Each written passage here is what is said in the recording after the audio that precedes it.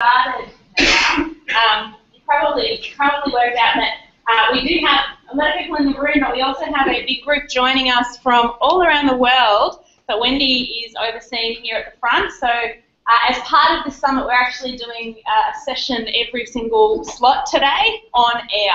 So um, it's part of what we do. Uh, you can go to our YouTube channel, so if you look up EdTech Team on YouTube, you'll actually see a whole lot of our past sessions on air as well. And the idea is that uh, you know, not everybody, unfortunately, can be in Honolulu today. Um, as much as I'm pretty sure most people who are there um, watching would like to be here, uh, and so that they can feel like they're actually still getting the opportunity to learn alongside us as well. So we'll sort of, you know, you guys are going to feel you obviously get a lot more control than the people on air, but um, we will have some questions. There is a back channel as well.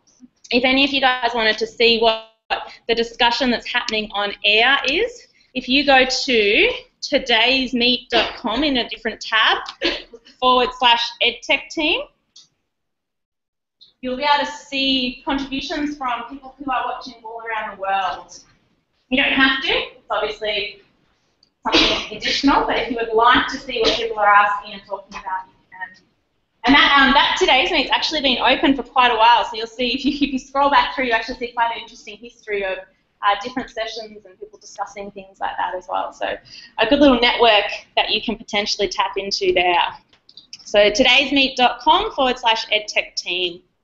And actually then if you aren't going to be attending in person any of the other sessions that are on air today, you can uh, sit in your other sessions in person and also connect via the back channel with another session that's happening at the same time. People from Australia and New York and That's all over right. the world. So, and hopefully after the summit ends, you guys can go to another one when that's not Hawaii as well and keep learning with us. So thanks for having us. Cool. So we are going to talk about uh, Chrome today.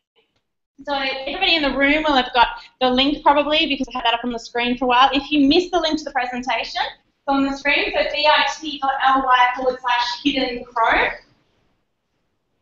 And but we're not going to run through the presentation as a presentation as such, but everything I'm going to talk about is linked off here. Uh, so it's more of a resource for you to keep and take away as well.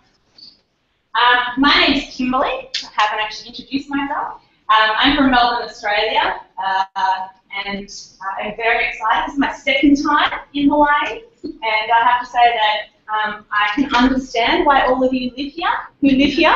Um, although the rain today has kind of thrown me a little bit.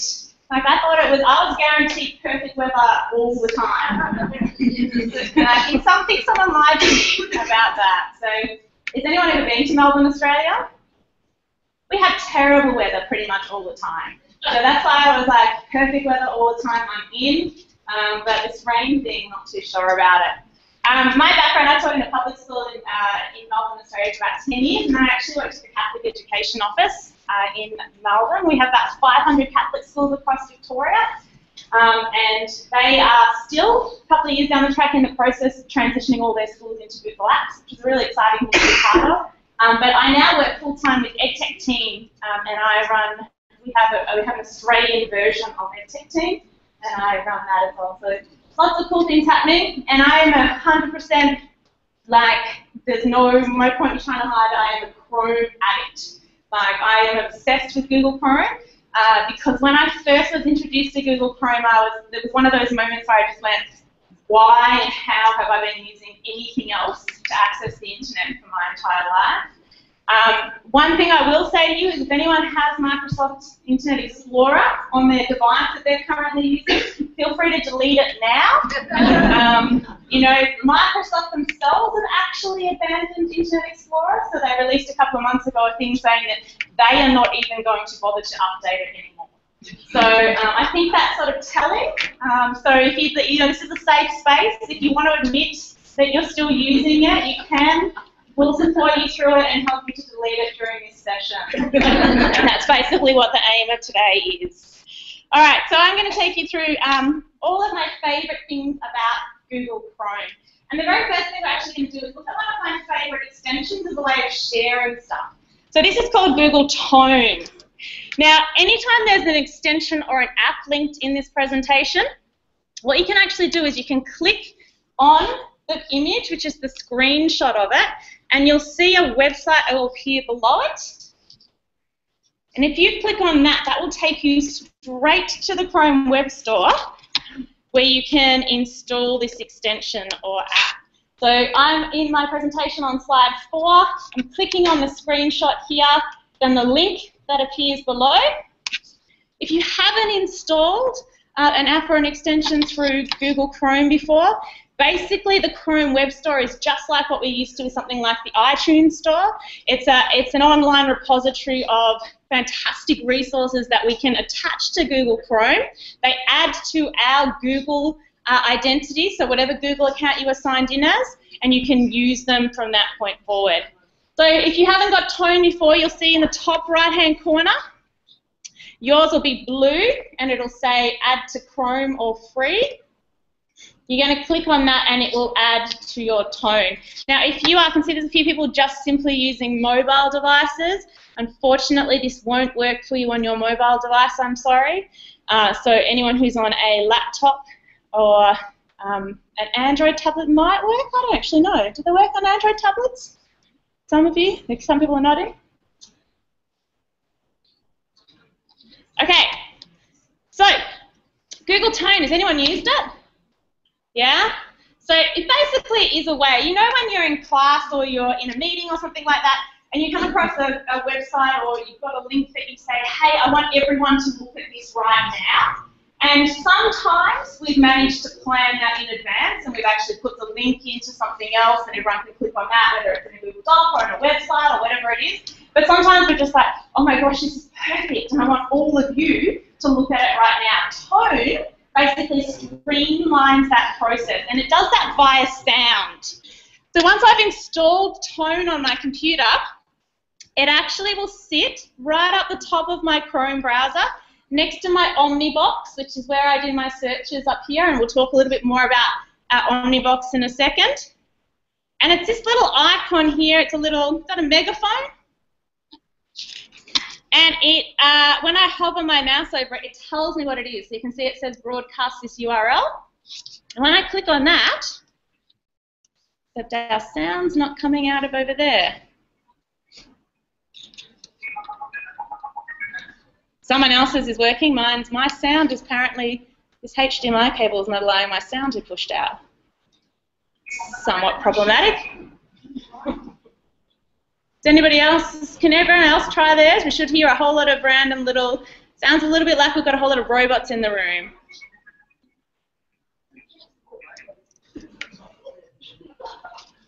So what will happen is, once you click on this, it actually sends out a little uh, robotic sound, which is pushing out via the sound waves the link to whatever website you are on. Anybody else who has that extension installed will actually get a little pop-up on their screen that will say, um, in this case it will say Kimberley Hall has shared a URL with you, and you click on the link and it will open that URL for you immediately.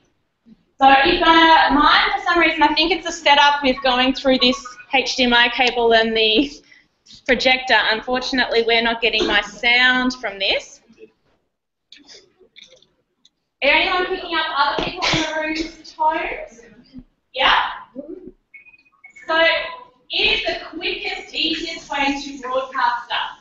Now, a couple of words of warning, and I will ask the gentleman in the corner who's used this before uh, to share any insights you have. You cannot control who can broadcast stuff. So um, as you can imagine, imagine you are a room full of students. What happens the first time they download Google Tone? You lose 10 minutes with everyone broadcasting everything to everybody else in the room. Um, but the novelty tends to wear off reasonably quickly. The really good thing about though is because we've installed it through the Chrome Web Store, oh you can see, here we go, Richard's shared one up here and I'm getting the link in the top of my screen. Because we've installed this through the Chrome Web Store, you cannot broadcast anonymously. So no one can actually send out like, you know, not like our Google Docs where we have, you know, random animals of broadcasting uh, uh, links to things. It has to be, it'll come through as an account. So that helps with uh, making sure people aren't sharing things uh, inappropriate. So if I click on Richard's tone here that my computer has heard, and for some reason, come on, go. And we are completely, what we're doing right now is, is modeling failure. the first thing that we're trying. Are other people having more success than me? With the links that are coming up on your pages? Some people are. Um, gentleman in the corner who's used Tone, what, what have you been using it for? Just sharing website for colleagues, offices are giving distance. Yeah. It does, and generally speaking, in a room like this sort of size, so your average sort of classroom size, your um, speakers a, that are inbuilt in your device tend to be strong enough for um, everybody in the room to hear it, I've found. So it will generally work a lot better than we just modelled it working, but um, you're just going to have to trust me that it's great. Uh, and I think it's a really, really efficient way of sharing and getting everybody on the one page. But feel free to continue to play with that and broadcast things to each other as we go through. All right, let's jump in and talk a little bit about, um, we're going to use some awesome things in Chrome and we're going to customize our Chrome experience this morning. So the first thing I just want to make sure that everybody's really aware of um, some of the features within Google Chrome. So first of all, I used the word before, and some of you may have thought you had no idea what I was talking about. I used the word omnibox. So in Google Chrome, we refer to what we used to just sort of talk about as the place where we typed our web addresses as the Omnibox. Now the reason it's called the Omnibox is because it does so much more than just enabling us to simply type in a URL that we want to visit. Okay, it's omnitastic because it does pretty much everything you'd ever want it to do. So if I open a new tab, for example, and I think, oh gee, I really want to know how what the word happy means, I can type in define and then any word in the world. And when I hit enter, I actually have a dictionary. Okay, so what Google Chrome is basically doing is, you'll see this session is replacing a whole lot of additional things that we used to have to bring into our classroom and bringing them all into the browser experience for you. So I've got my dictionary definition of happy here. I wonder if my sound will play no, we're not getting any sound, sorry guys. It does have the ability to listen to the word being said here. Gives me my nice, oh it is, you could hear that then, could you? Oh, That's good. So the, the, three people sitting around the projector can hear it, and everybody else just have to trust the three people around the projector. Uh, one of the really cool things that I like about this uh, dictionary that's built into Chrome though as well is you'll see down the bottom here we have these translations, word origins, and more definitions. And when I click on that, it actually takes down things like the origin of the word, which is really good. A lot of, I don't know uh, all of your curriculum inside out, but a lot of curriculums are now actually dictating that we talk to kids about, you know, the roots of words and things like that. Um, I can translate the word into other languages straight away. And I also get this really cool graph, um, which is coming from what's called the n-gram viewer. So n-gram Viewer is basically um, something that a whole lot of nerdy people put together based on uh, Google Books. So Google has scanned all these books all around the world, and they've actually put every single line in the book uh, in as code. Uh, and now they can track the frequency of words occurring over time. So this is the frequency of the word happy. You can see that during the 60s, 70s, 80s, we weren't very happy, so we didn't use the word very much kind of nice to see that it's been on a slight incline. Um, but it's quite interesting to look at that. And it's really interesting if you start looking at your kids for words that potentially aren't as commonly used anymore and sort of seeing when they sort of went out of fashion and why. Uh, so it's a really great tool. And that just comes in, you can see that by expanding your dictionary definition here. Now, if I go back up to my Omnibox, though, I can also do things like replace my calculator in my classroom. So if I wanted to know what 10 plus 4 times 6 is, I get a scientific calculator. Now, I don't know what any of these things over here do, but apparently they're important if you're teaching math, so that's good. Um, but it is quite a powerful calculator and it's just built into Chrome. If you do basic searches, you can actually, it'll actually start to, in your Omnibox, start to give you the answer without even hitting enter, although once again mine's not working like that today.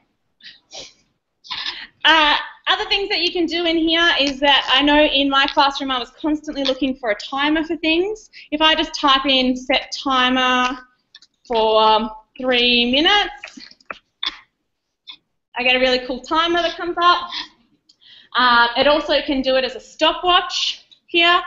And if I need to be really dramatic and make sure the kids really realise that we only have a short amount of time, I can make it go full screen. And it plays an incredibly annoying beeping sound at the end of your timer, so it's very hard to miss it. But it means you don't have to go searching um, for any other tools in your classroom. It's all just built in. So set timer for whatever time you like, uh, and it'll just automatically start timing. And if you leave that open in another tab, uh, we'll get a whole chorus of different timers going off shortly.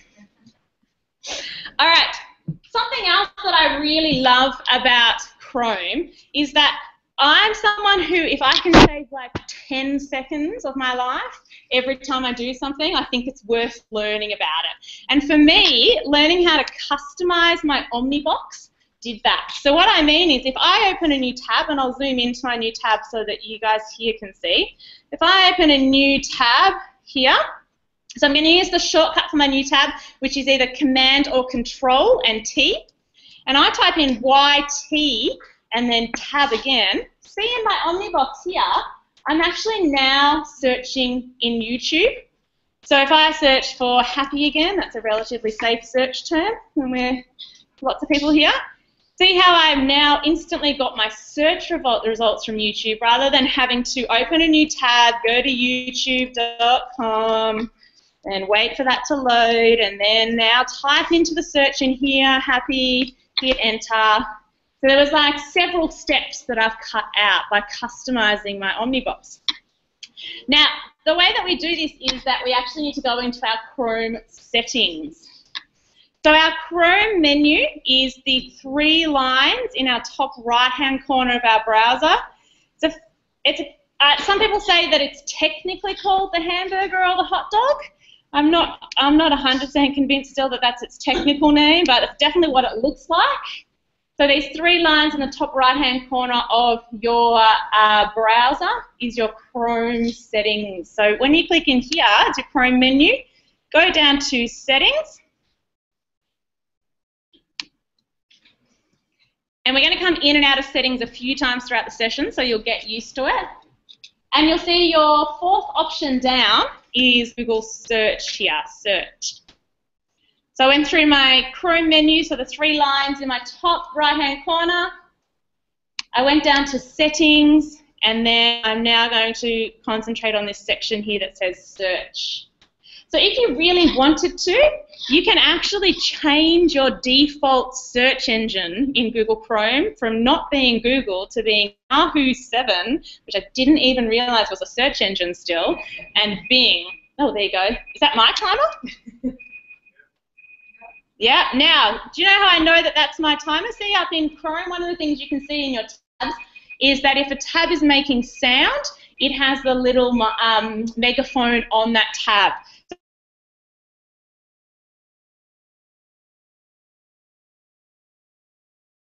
Megaphone, you can actually right click on that tab too and mute it. So you can actually mute your tab there without having to close it. I probably will close it because otherwise we'll end up listening, having to listen to that awful sound again. All right.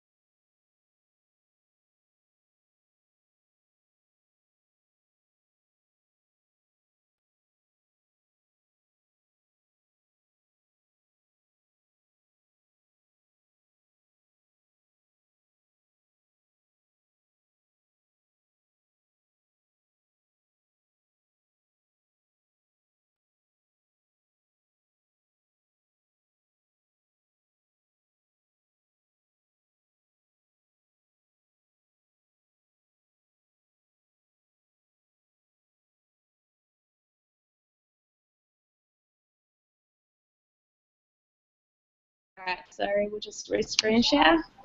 Audio coming back. Thanks, at home. Okay, we're back on. Test your audio. Can you hear me again? Yep. Yep. We're back in. Okay, cool. Alright, Thanks.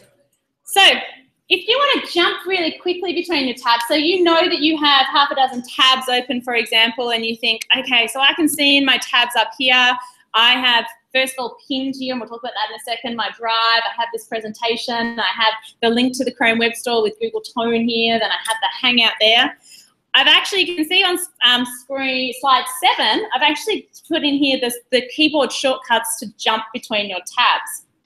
So if I press on my, I'm on a Mac, so if I press Command 3, it'll actually jump to my third tab that's open. Command 5 will jump to the fifth tab that's open.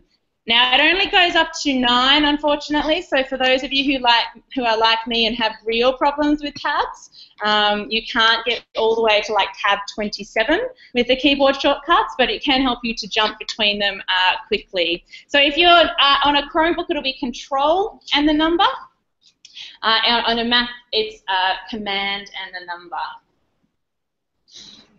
Now, the other thing that I have a bit of an issue with is that I used to be someone who had a whole lot of bookmarks saved in one of those like online bookmarking websites. Does everyone have that experience where you're like, great, I'm going to be super efficient, I'm going to save all these amazing resources in this bookmarking website, and then whenever you want that resource, all you do is you go to Google and you just search for it again. You, you forget that you've saved them all.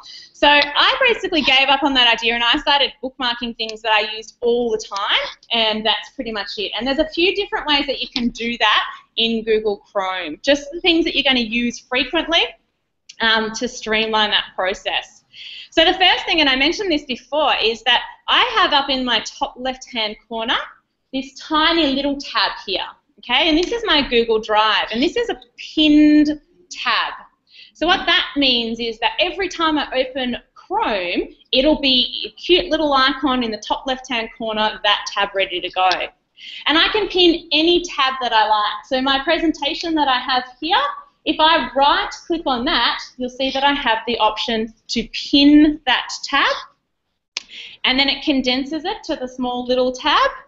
And you can see now I've got a couple of them, and so I can do that with as many as I like. Just a word of warning, when you start to pin too many tabs, they become a little bit ridiculous again. You don't even know what they are. So I'd only pin the ones, I usually have my Drive, my um, Gmail, and my calendar pinned. Um, and then a website that I use all the time for work I have pinned as well.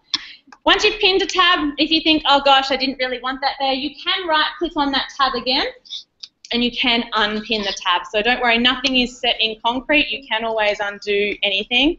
But I find it's a really efficient way of me being able to access the things that I am wanting to access frequently. The other thing that I do is see down here in my bookmarks bar, do you guys have a bar below your Omnibox? If you don't see your bookmarks bar, you actually can turn it on, and I've shown you the two different ways in the screen here. If you press Shift and then if you're on a Mac, it's Command B. If you're on a uh, Chromebook or a PC, it's Shift Control B. It'll turn on your bookmarks bar. Or you can also access it via your settings. So we were in our settings before. So remember our hamburger or our hot dog. And our third setting down is our appearance, and you can see the option to always show the bookmarks bar.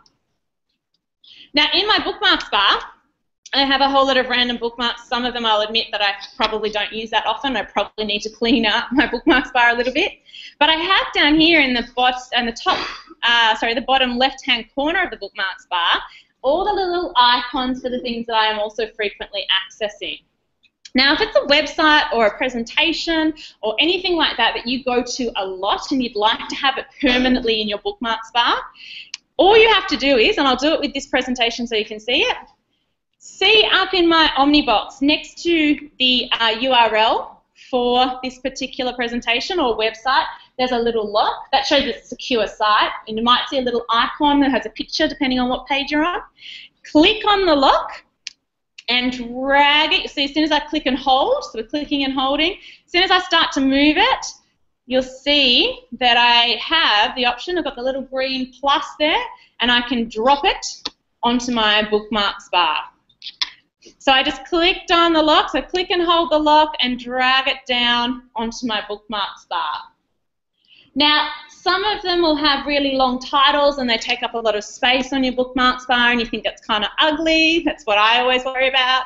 So you can right click on it once it's been added to your bookmarks bar, select edit, and you can change in here the name. So you can give it a shorter name or if you leave the name field blank, it will just leave the little icon for it. So I'll just do that one more time just in case anyone missed it. So we went to whatever website we're on, we clicked on the little padlock or the icon next to the URL, click hold, drag down onto our bookmarks bar. If we wanted to retitle it or get rid of the name, we right click on it and click on edit and then I can delete the name from here. If I save that, I now just have the little slides icon. Just like with our pinned tabs, if I decide I don't want that there, I can just right click on it again and I can delete it. And don't worry, you're not deleting the actual file or anything like that. You're just deleting it from your bookmarks bar. So I put all the things that I use frequently down there in my bookmarks bar. If I wanted to be more advanced, I could, and I, want to have, I wanted to actually spend some time using my bookmarks. There is, you can bookmark any website that you're on really quickly on Chrome by using uh, the little star that's in the Omnibox, and then you click on that star, it'll give you the option to add it to um, anywhere you'd like. You can create your own folders within your bookmarks, or you can add it to your bookmarks bar again. All right. Um, now, one thing that I do constantly, I don't know about you guys, is that I, because I end up with so many tabs open, and then I always think, oh, I need to um, you know, cull some of my tabs because it's becoming unmanageable. I always close the tabs that I actually wanted open. Like, it doesn't matter what I'm doing, like, and how much effort I think I'm putting into thinking about which one I'm going to close, guaranteed I close the one I wanted open. So your best friend in terms of uh, keyboard shortcuts is learning either Command or Control, Shift, and T. And what this will do is reopen the last tab you closed and you can keep hitting that and it'll keep reopening all of your tabs, It goes back all through your history. And so then whenever you accidentally close things that you didn't want to close, just hit your shift, uh, your command or control, shift and T, and it will reopen that for you.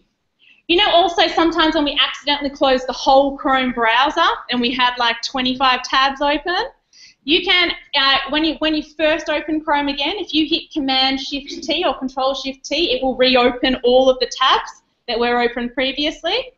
You can also access all of those tabs if you accidentally do that under that Chrome, men, uh, Chrome menu again, so our three lines, and your history. You'll see here I have 19 tabs open here.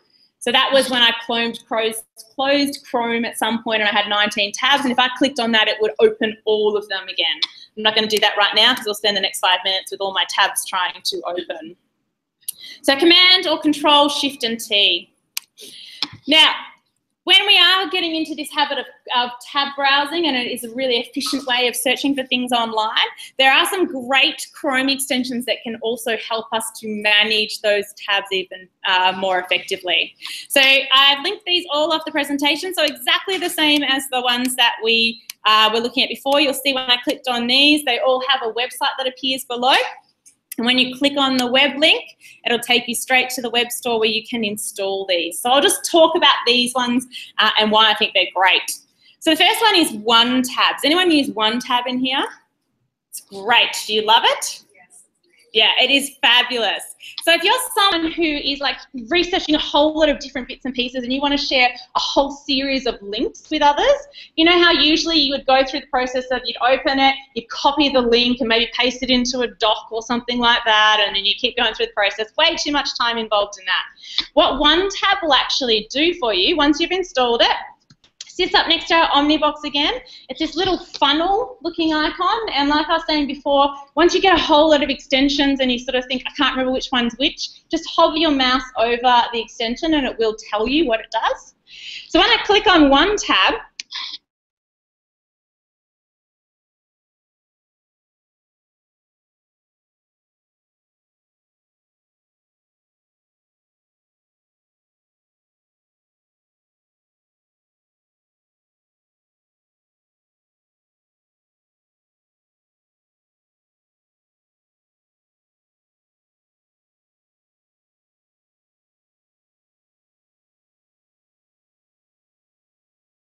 We're coming right back, folks. Sorry.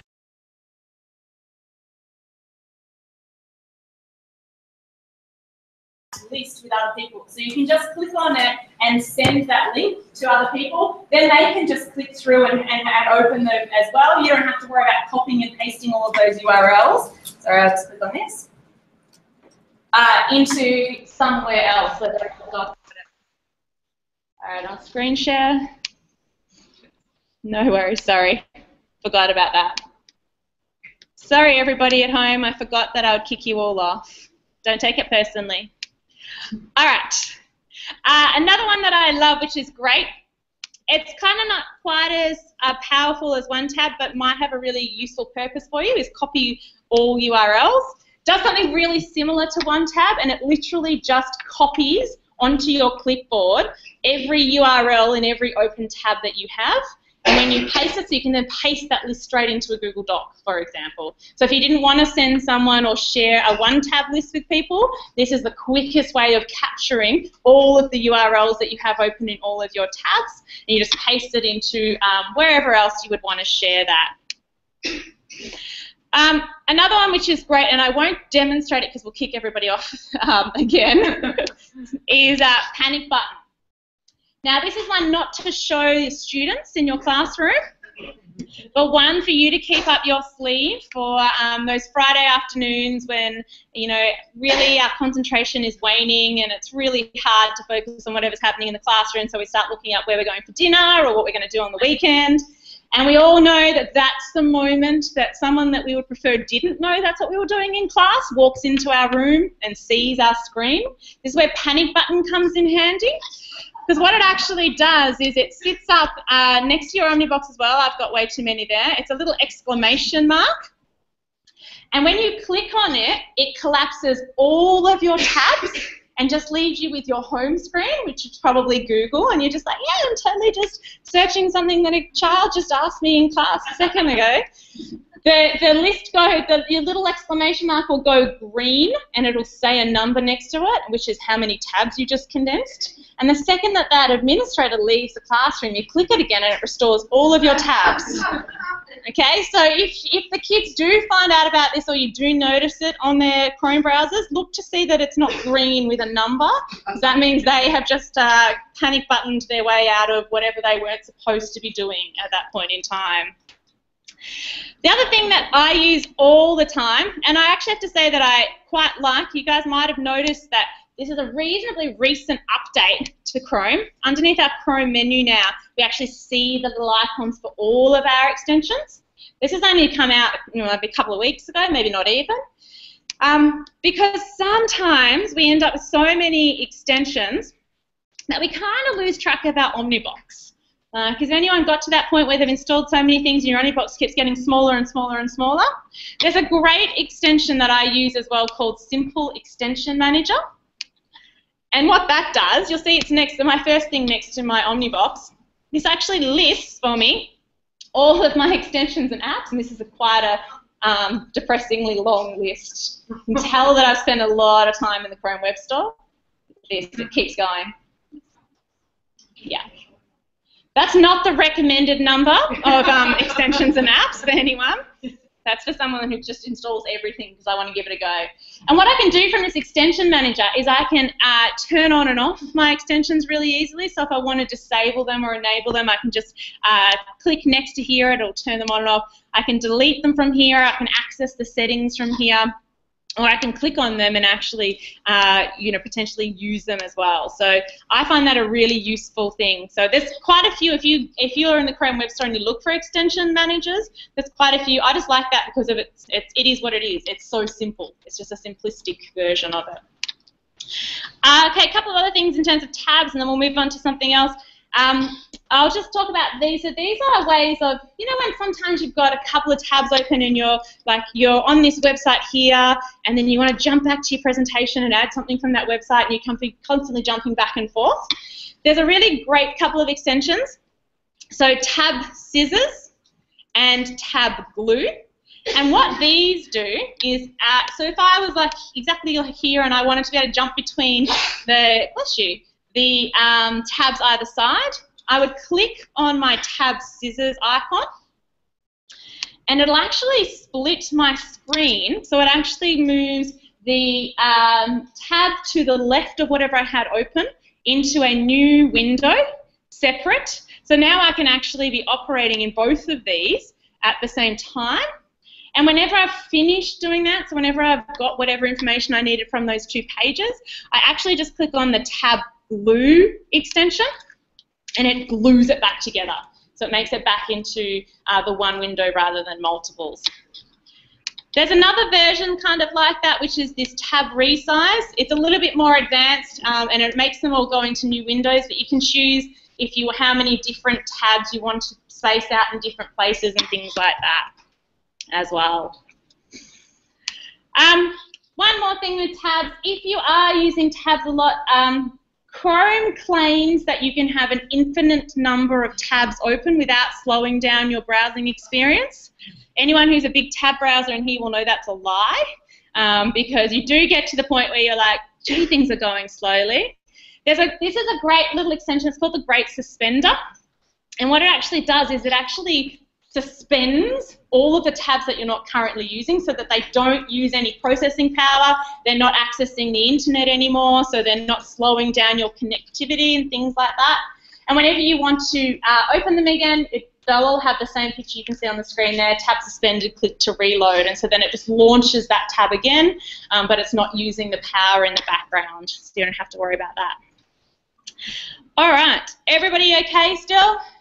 I know I'm talking a lot. Please shout out any questions that you have. We okay, Wendy? Yeah, that's okay. good stuff. Excellent. All right, we'll just talk about something that's, uh, just in case anyone doesn't know it, this is one of the most essential things you should know about Google Chrome, is the ability to manage multiple Google accounts. So I talk about, you know, 2016, one of the major disorders that we are suffering from as a society is multiple Google personalities. Because we're all like, oh, which account did you share that with? Who am I logged in as? Oh, gee, oh, that's my Gmail. No, that's my school one.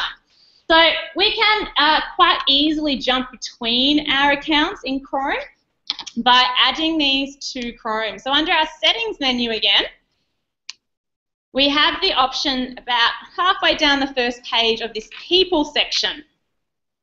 Now you can add as many identities to Chrome as you have frequently accessed using Google. So you might want to have your school one and your personal one, and it's, I'll show you how it works. It's really easy then to jump between them and to keep things separate, which I think is probably becoming increasingly important for us. When we sort of started using Google Apps at school, everyone was sort of just using their Gmails and whatever and didn't really care, and now we're getting so much stuff that we want to be able to have a bit of separation. So what I do down here is I click on the Add Person button, and then I can choose my little avatar for whatever um, account it is, and I name my account. And when I click on Add, it'll ask me to sign into this account. And once I've signed in, you'll see in the top right-hand corner of my browser, it now says New Account because what I've named it. And when I click on that, I can switch people back to my other accounts really quickly and easily. Now, if you're on a Mac, you also have the option above your tabs, there's a little people um, menu option, and you can jump between your accounts here really quickly and easily. Now, this is the best way of doing it if you are going to be jumping between accounts rather than actually logging yourself another account here. So you know when you're in uh, any, of, any of the Google products, you can add an account, but then you constantly have to choose which account you want to access things through. Keep them separate by doing it through Chrome. All right, how are we going to time-wise? 15 minutes. All right, we will jump down to showing a couple of things. So, um, some of you guys will have noticed that when I open a new tab, I get these amazing pictures. So if I keep going through my new tabs, look at all of this. This is probably one of my favorite extensions. Okay, and this is about how you can personalize your Chrome experience a little bit more. This is called Earth Viewer, Google Earth Viewer, Earth View from Google Maps. And what this actually does is every time you open a new tab, it gives you a different satellite image from Google Earth. And they're phenomenal. Like this is nature at its best. And you look at them and you're like, wow, wonder where that is. How does that like how does that shape formed? See in the bottom right hand corner, you have a globe. It tells you where it actually is, and you can actually click on that globe and it'll open Google Maps for you and show you the exact location so then you can actually zoom out and you can actually get a bit of a picture of what it's all about. I have genuinely spent hours of my life now um, just randomly looking at places all around the world because I guarantee once you once you install this, it's hard not to be curious. So like in terms of adding something to you know create discussion, explore the rest of the world, curiosity in your classroom, this is one of the most fabulous extensions that I have ever come across. Um, I heard from a teacher recently where they're using this where they're um, like as a tuning back in activity. And so they're like okay guys you know they've been out you know lunch or whatever like that. Like okay so where are we going to visit in the world today? They open a new tab and then they have a little bit of discussion about that location. Um, other teachers have told me they've started to use it as a way of like setting little bit of um, homework tasks for kids to actually go and research somewhere that's come up in a new tab it's just it's phenomenally powerful uh, and and amazingly beautiful as well. The other one that I've included in here is called the Google Art Project. Now, if you're in if you're a cultural sort of um, you love artworks and sculptures and things like this, um, this actually draws from the Google Cultural Institute, and every new tab that you open will give you a different piece of art um, from one of the museums around the world. Similar concept to the maps one, there's actually a link, it's actually in the bottom left hand corner for this one, that'll take you straight into the Google Cultural Institute, show you more information about that piece of art and the artist and all of those sorts of things as well. Now you can only have one of them active at, the, at one time. So this is where it's great that we all have multiple Google accounts because I actually have one in my work account and one in my Gmail account. Um, but you do have to make a little bit of a choice there about which one you're going to access. If you want to just sort of personalize Chrome a little bit more, in the Chrome Web Store, there is actually a whole lot of themes. So if you just feel like your Chrome browser, you're not really a grey fan, and there's a lot of grey going on up near our Omnibox, you can actually come into the Chrome Web Store and you can pick a theme, uh, and it's basically like a, it's a wallpaper, but it covers the entire uh, entirety of Chrome. So a lot of them you can pick like what color buttons you want, what text you like. So um, you can imagine that a lot of probably a lot of your kids already have gone down this path of making their Chromes look. Yeah, people are nodding, like pimping out their Chrome browsers to something that you look at and think's hideous, but they think is you know it's nice for them, it's personalised for them. All right, let's keep jumping down to uh, one thing that I will show you that I think is really important, and there are, there's a lot of stuff linked in here um, in the presentation. We'll jump, we won't get necessarily to every single thing in here, but it's all resources for you. Um, is what I call choosing your own download destiny. So you know when you're online and you know you want to download something and then it just randomly downloads to the same um, uh, folder every time, and then you end up with like you know, a hundred things in there. None of them make any sense because they're all named something randomly and that sort of stuff.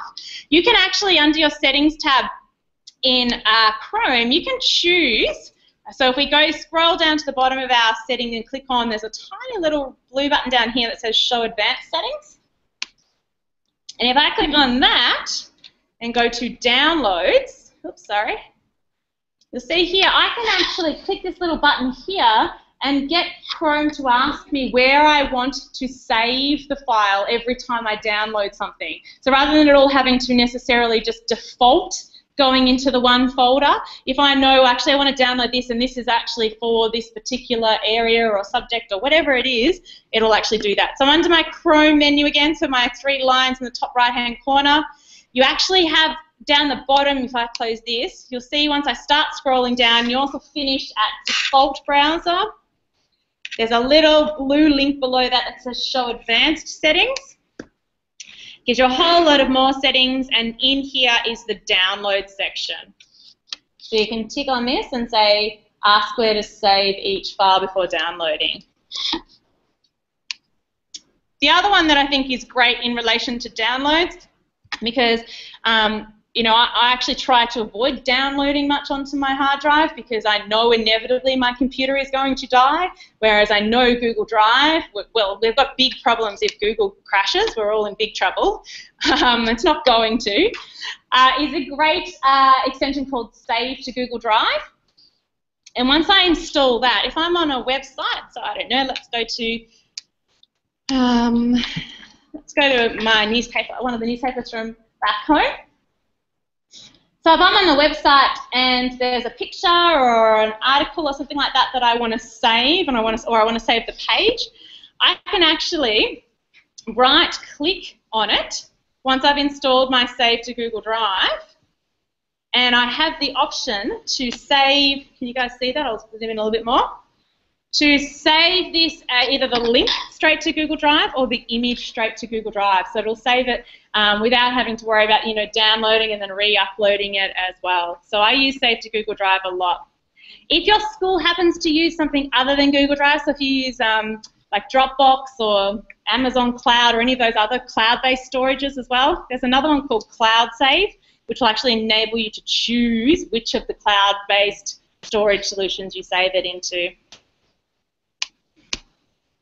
All right, let's jump down and have a little bit of a chat about um, using some of this stuff offline. Um, so, internet's perfect all the time, right? Yeah.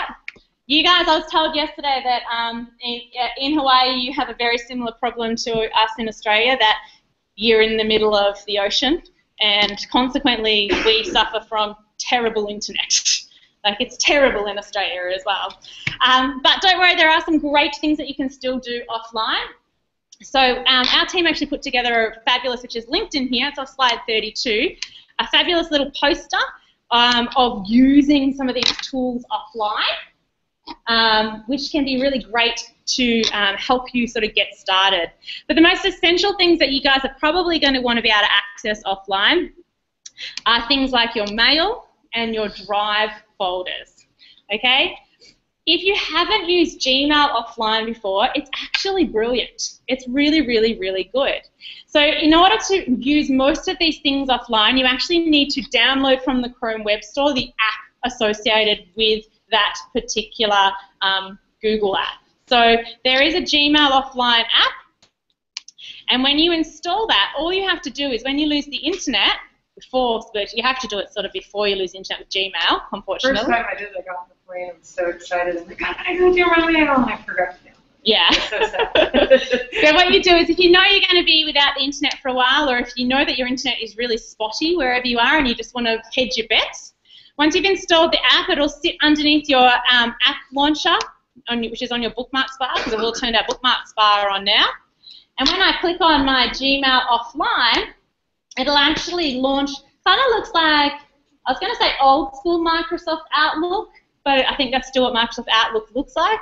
Um, so it looks like an offline um, web-based uh, sort of the uh, email client, and you can actually um, access, read um, all of your mail um, and I find it's really, really quite effective. It obviously doesn't actually send mouse, you can write it, you can click send, it'll sit in your outbox, and the second you reconnect to the internet, it will sync everything back together. So it'll send anything that you've sent, it will receive new things.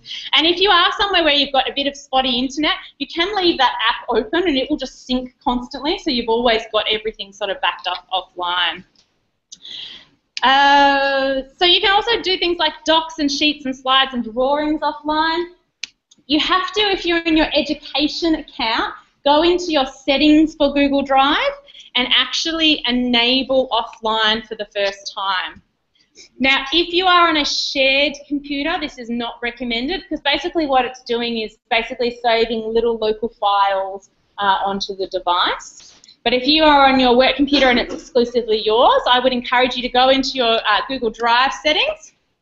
So in your Drive, your settings is your cogwheel here, and actually make sure that you have in here, oh, it's offline, here we go, checking my offline status, which means I'm probably offline if it's taking that long for it to check my offline status, and you can tick that.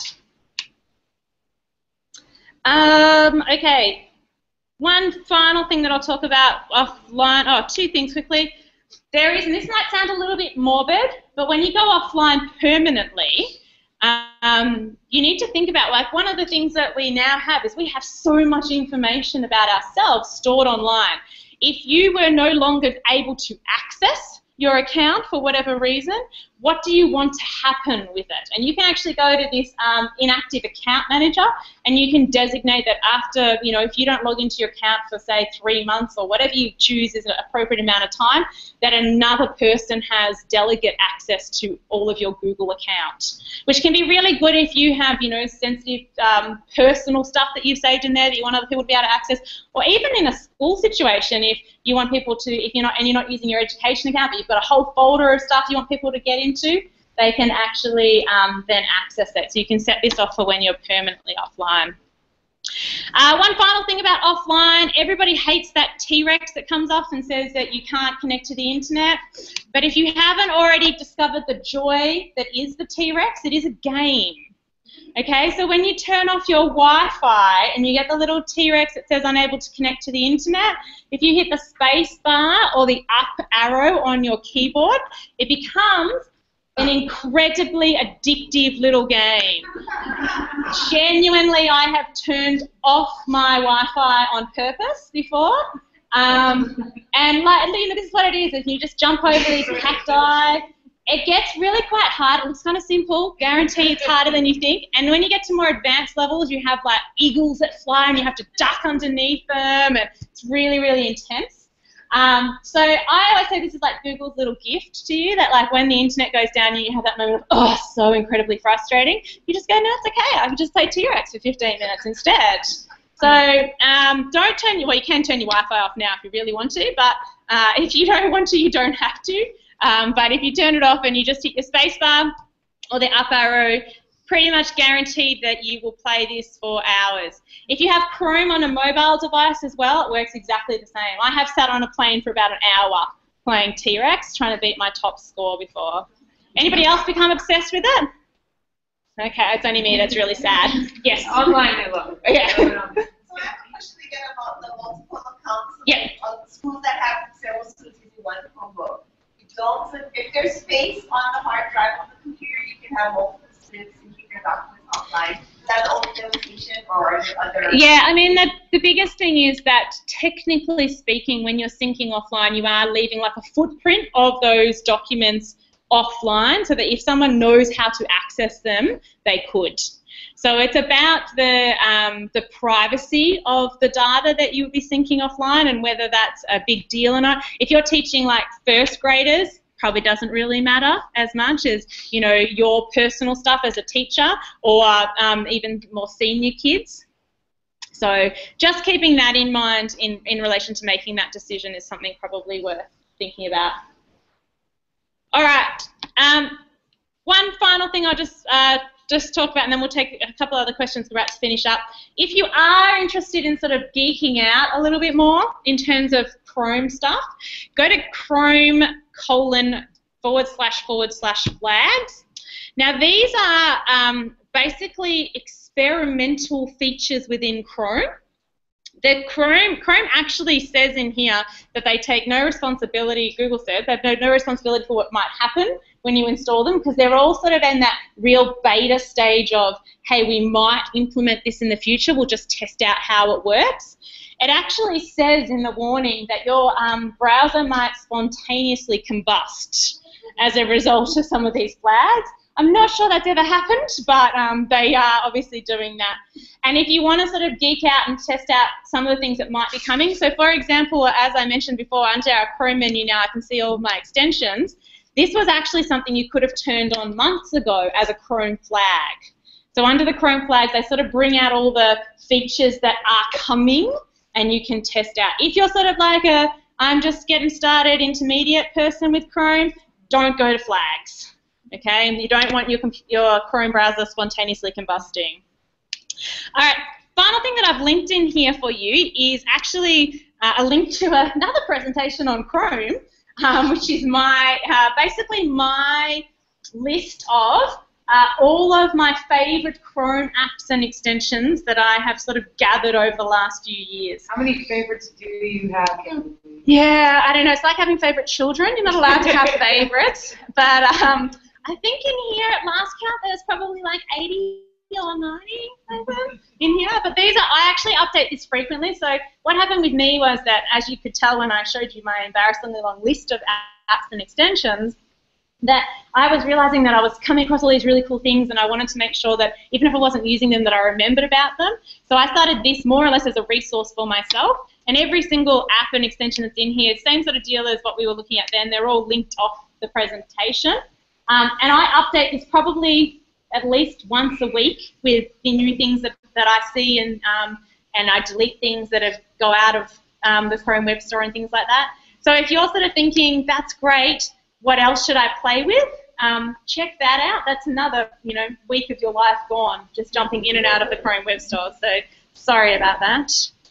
All right, and it is lunchtime now, and uh, we're pretty much spot on. And I know that the most important thing is to never ever keep um, teachers from food. So um, please feel free to ask any questions I hang around. I'm not going here. We're going to answer some questions on air. Um, and lunch is back where we had breakfast, so back downstairs into that main um, atrium area. All right, thanks guys. No worries. Thank you online um, for hanging out. We actually nicknamed you Crumberly. uh, do you guys have any online was sharing actually some really awesome uh, use cases of how they're using a lot of the ones that we use. Awesome. Um, any questions, guys, before we head off for lunch? Uh, for on air, we'll be back um, uh, at our next one, which will be um, at 1:30 p.m. Hawaii, um, 4:30 p.m. Pacific. Um, so stick around, and if you make sure you post your uh, Twitter handle so we can give away cardboard so much during the session. Um, but So this is just really you- getting you asked got the question now, so if you So it's just throw in any questions you automatically. have, Um, Otherwise, we really you take the time uh, what do you want to be able to do? Um, give So you, everything, everything's linked up here. So if you wanted to, um, if you, so they're all, so when you have Chrome, this is the shares. So as soon so you just type in here, so if you wanted to search, um, thing, sorry.